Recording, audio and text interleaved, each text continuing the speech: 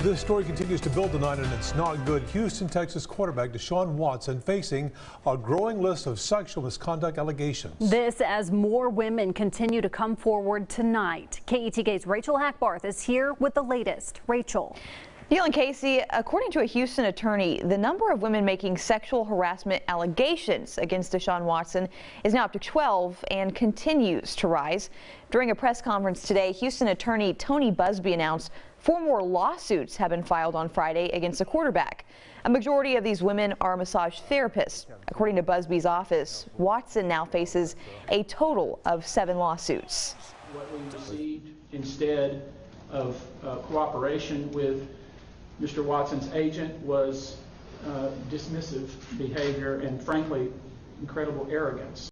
Buzbee is now representing 12 women and says he has spoken with an additional 10 women who all reported similar conduct from Watson. Through social media, Watson said he has, quote, never treated any woman with anything other than the utmost respect. Watson also says an attorney for a plaintiff made a six-figure settlement offer, which he says he refused. Houston police have not commented if they are investigating. Reporting live in the studio, Rachel Hackbarth, KETK News.